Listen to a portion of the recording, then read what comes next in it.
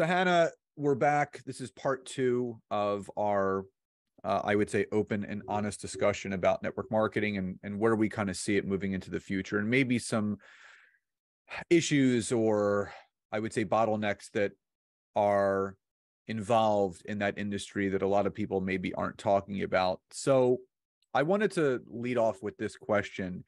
And, you know, we talked about it in, in the first discussion about it, it does take the right person to succeed in network marketing. And there are multiple facets and personality traits, personality types, quality traits, business skills that require success in this industry. My my big question is this because you hear two different perspectives. It's the multi-passionate entrepreneur mindset and the solo entrepreneur mindset. And what I mean by that is this. Sometimes network marketing is is posed to people as not so much a way out, but as a, a revenue stream to do other things. Meaning, you know, use this money for whatever you want to use it for, you know, pay some bills, pay some debt, you know, start another business, you know, use it as as a means and an avenue to do more. So it's posed as that. But then there's the i would say the conflicting other side of it where there's all these not even hidden but terms and conditions when you sign up with a network marketing company that they have the right to terminate a position based on anything that they feel outside of what the independent contractor should be doing to represent their company uh, as a means of maybe cross recruiting or bad business tactics where almost like you're pigeonholed where you can't do anything outside of it. Even though you know you'll go to a convention and i remember going to one and that's how they were posing it. Like you use this money to fund and do bigger and better things if that's what you want to do. But months later my account was frozen. So what's your thoughts and feelings on how it actually should work with that person that joins network marketing? Should they be able to do multiple opportunities or is it safer to put all their eggs in one basket? I think what you're talking about comes down to the way and that, for me the problematic way that mlms are structured. Because it's kind of like you have the worst of everything as a as a consultant. You don't get a salary you don't get any rights like you would have like some maternity leave holiday pay sick pay these obviously vary from country country state to state but there are legal rights you have as an employee. You have the protection of the company. Um, so you are a an independent contractor so you have no salary you don't have any of those rights. Um, but then also the company um, has all the advantage because on the one hand they can lay down the law to you and say you can only work within these rules that we're creating. However, if you do some, if this independent contractor then does something wrong, the companies then go, well, they're nothing to do with us. You know, they're an independent contractor. Um, I see, I mean, I've seen a lot of people talk about, you mentioned your account being frozen. I have heard of people who have genuinely tried to play by the rules and, and, and, and build an honest business within the MLM company they work with or for, um, only to find that that has been taken away. Um, and I do find that, and again, this is to me one of the problems of of network marketing, multiple MLM, is um, and again down to this kind of way it's structured you are recruited genuine, generally by a person. You're recruited by maybe a friend an acquaintance a colleague or a complete stranger and they are presenting the opportunity to you. Um, and they really need you to join because you joining their downline will um, grow their their kind of income um, potentially. It will give them the numbers they need in their downline to, to kind of maybe go up or, or, stay where they are in the plan. So they really need you to join. They are highly incentivized for you to join. They might actually know that actually when you do join, you're probably not going to make much money. Maybe they haven't made much money, maybe they've lost money, but they really need you to join to try and maybe turn their fortunes around. So they're incentivized to um, really get you on board. And this is where you have the problems is they might tell you not necessarily the truth. You know, I've heard people go, you can build it in pockets of time around your children, around this. And then people join and they're told, oh, no, if you want to make it work, you've got to work 24 hours a day. This is a common complaint I get from people. Um, so I think there's there's a few issues here for me and how in a whole way this business is structured in in the fact that these companies um, take on people as independent contractors. They're not they're not on the one hand, they're not bound by the rules of the company, but they are because you say, well, when you look at the T&Cs, they can terminate you for lots of different reasons. So I, I think it just makes it very, very difficult for people. It's almost like the rules of the game are, are sometimes hidden from you. And, and, and the reality is for most people, so you are perhaps you know in like my audience's case maybe you're a mum and you're looking for a bit of income on the side. It might be that you want to give up your job and work full time doing this or you just simply want some money to pay for holidays because you know or cash is tight. And someone tells you to join and they tell you it's really easy you just sign up here. And then so you agree as we all do you know we all buy things and we agree to the terms and conditions. How many of us you know if we sign up to software actually read the terms and conditions on things. You know we accept that they're going to be general legal stuff fair because this is a good company and we just we just say yes. So a lot of people join these companies without reading the small print um, and then it's a small print that sometimes sometimes come back and bite them. So the, the other thing that this this kind of makes me think about is the adage that you hear this saying all the time the only way to fail is to quit. So you you hear this and, and this was said to me like scott keep going right? You know it may not happen this year it may not happen next year it may not happen in year 10 or year 12 or year 15 but if you quit you'll never find out when it does happen. So it it's this i don't want to say brainwashing but it's this seed that's planted in people's heads that they almost feel guilty mm. to quit even though intuitively in their hearts because again the mind and the heart are two different things right? Mm. so you know when we go with our gut instincts right our, our gut and our heart are are really saying to us you know what? I don't i don't know if this is for me. I don't think this is going to work. But then the head part of you replays that message. Well if i if i quit then i automatically fail. So there are so many people that stay in too long like longer than they should. And then they have some aha moment, maybe after year six or year seven, and they pivot into something else. They're like, you know what? Maybe I should start selling some real estate because that's that can be more lucrative. Maybe I should start my own business. Maybe I should go back and get a regular, steady job where I have benefits, I have insurance. Because these are again, you and I talked about this in the first discussion that when you go to the corporate events, they don't teach you about you know what insurance plans to get you know um, starting your own 401k or ira to start saving some money planning out your quarterly taxes. Uh, what business type should you have? An s corp an llc a corporation um, and, you know incorporate whatever it is right? So th- there are you know this business in the box theory there's there, there are some missing things to that but what is your thought on that seed that's planted where you know, there's almost like this guilt that people have about quitting, like they're letting people down if they stop. Yeah, I mean, I wrote a whole article looking at the psychology of why people stay even after they lose money, and that is a big one. You know, the only way to to, to fail is to quit. If let's say you let's say every morning you swim a mile, okay, that's your exercise. You get into the sea, you're halfway through your mile, a shark attacks you, and you think, if I get out of the sea right now, you know, I've quit my failed, I've, I've quit my mile. You know, there are times when you're in an abusive relationship, you know, whatever. There are times when quitting is the right thing to do, when we know that that the outcome isn't going to maybe be right for us. That quitting is not always a negative thing. Um, it is, however, sold to be a negative thing because, you know, again, we talk, I touched on the structure of network marketing. So if you look at compensation plans in network marketing, your rank and often the the bonuses you get are based on the number of people in your downline and the number of sales that that downline produces you know if you get the car plan the car plan if you look at those is usually based on retaining a rank retaining a number of sales and people under you so if someone is in an, in higher up in an MLM, they've got any form of downline, they do not want to lose a downline. They do not want to lose a downline because they will lose, potentially lose money or lose rank if those people leave. So this is what I think why this, this thing comes around. It's like they tell you to stay, I believe, because they need you to stay for their own reasons, not for you. They're not genuinely thinking about it for you. This is, to me, one of the real problems of MLM, how it makes a business a very personal thing. It puts responsibility on the people in the MLM for keeping people in.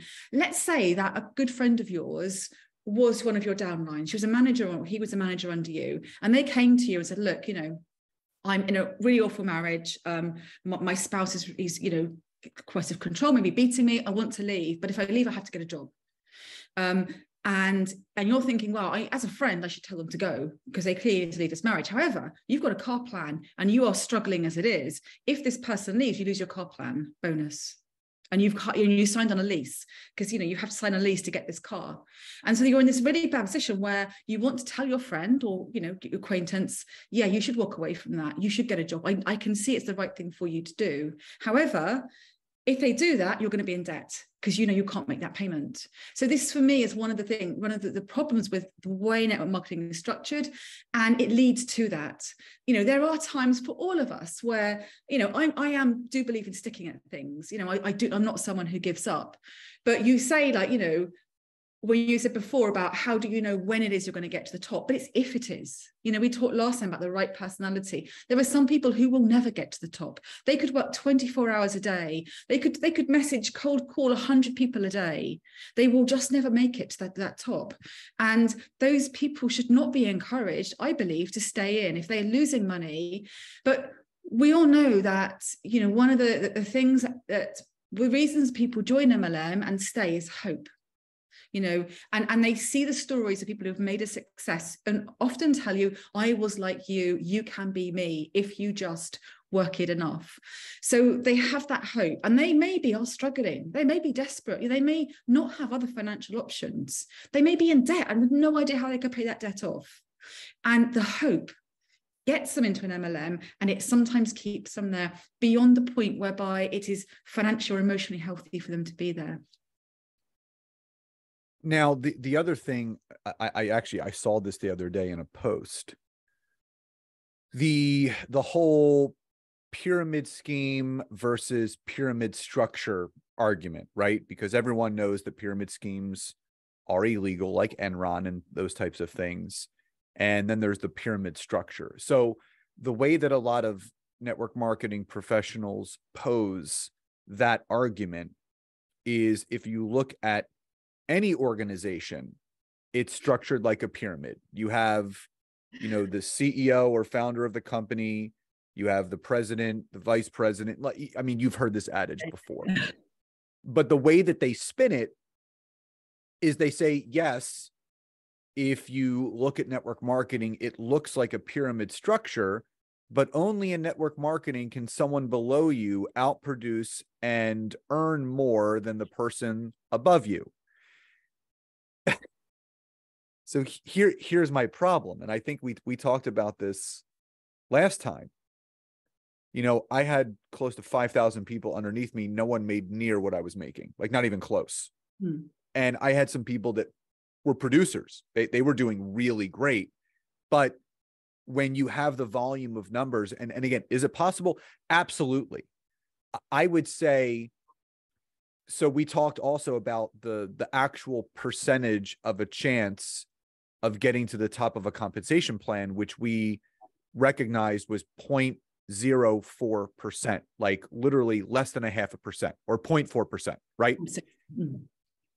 so when you start when you acknowledge that what's the actual percent percentage chance of someone that you that is above you what's the percentage chance of you actually outproducing them and outperforming them and out earning them in network marketing. And, and and speak to that whole pyramid scheme versus pyramid structure analogy that you hear a lot in the profession.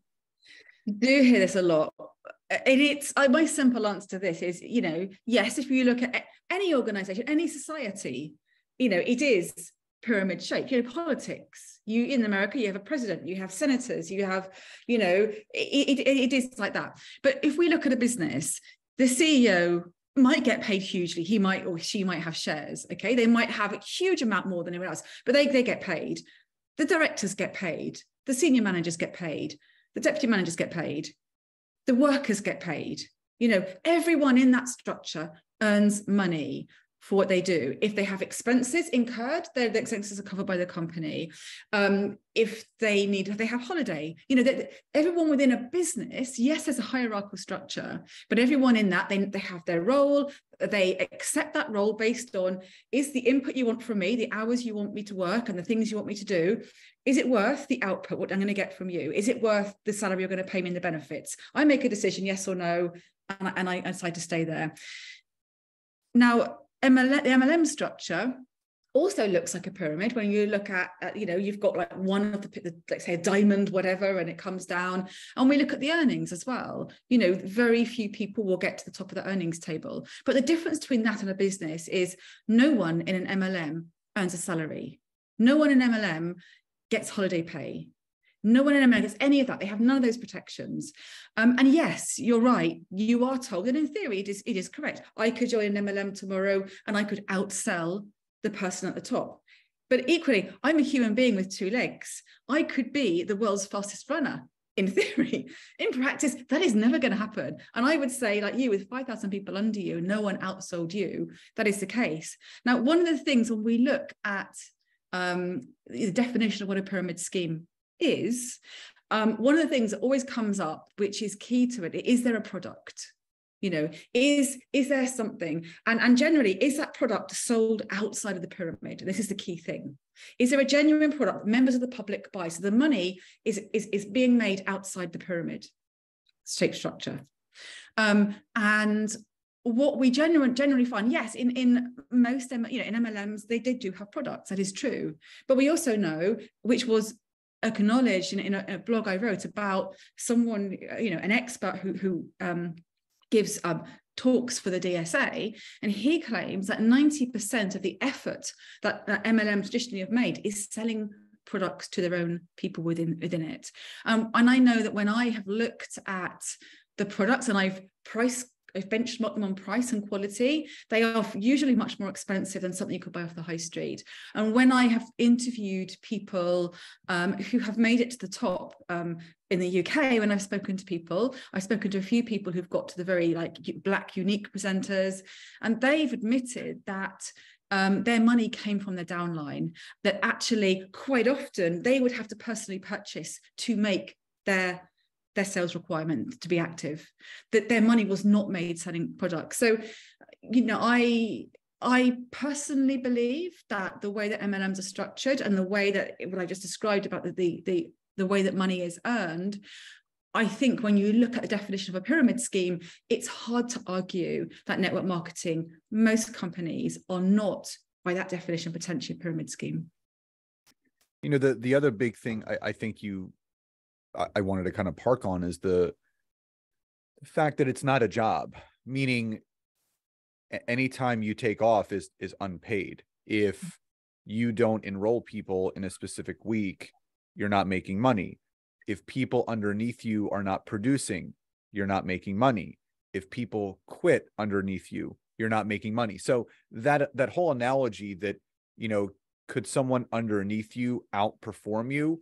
Well, it depends on the compensation plan. The compensation plan that I was a part of is called a binary pay plan, meaning it's got two legs, it's you and then two legs that you build, and there's unlimited depth. So that it just keeps going down and everything filters back up.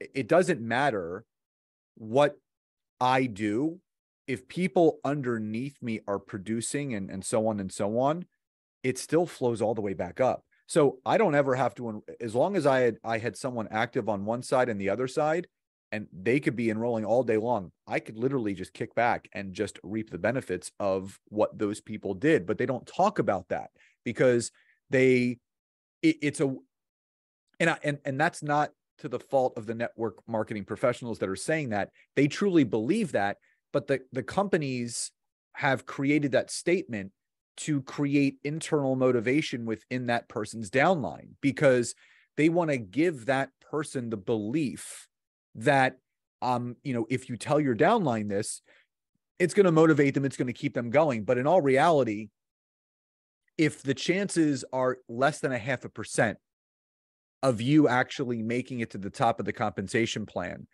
I, I would say it's even half of that, if not more, uh, of a chance of superseding or exceeding your upline. Because depending upon the compensation, if it's a binary compensation plan, which is the most profitable com- compensation plan, you're never going to leap that person because anything that you do is still filtering up through them no matter what.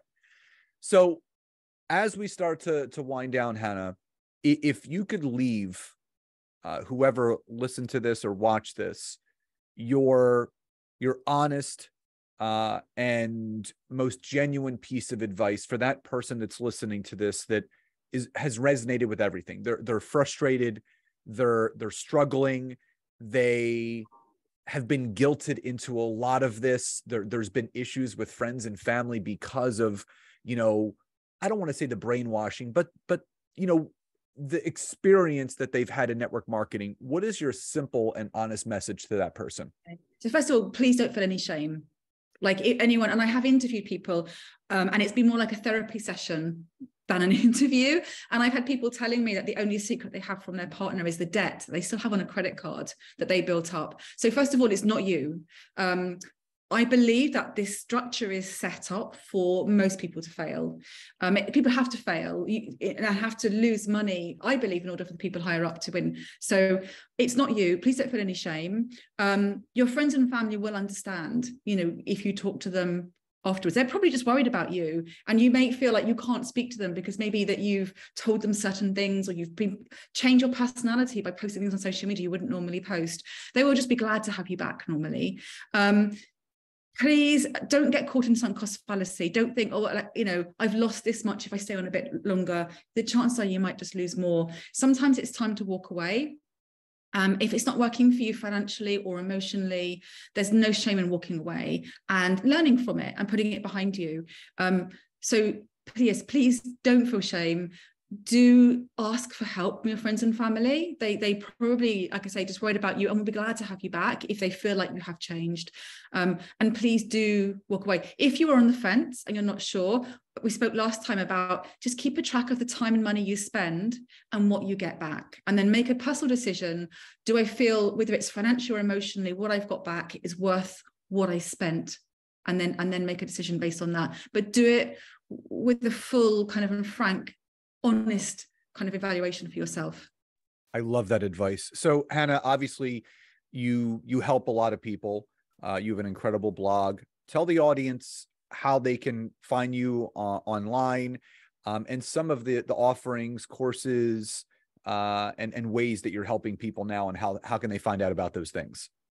So I have a site called talentedladiesclub.com. Um, if you are interested in MLM, I've written a lot of articles about it, um, looking at, I mean, I, I, I said last time, I came to it from a kind of a neutral point of view um, and just learned about it. And I looked at the facts. So I investigated a few companies, um, looked at the industry in general. So if you are interested in MLM, there are a lot of articles about MLM on my site.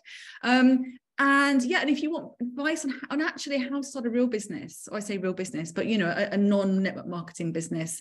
And if you wanted to go freelance if you're looking for inspiration and advice and what do you do courses but there's also a lot of free got a lot of free i've got a free business plan template for example.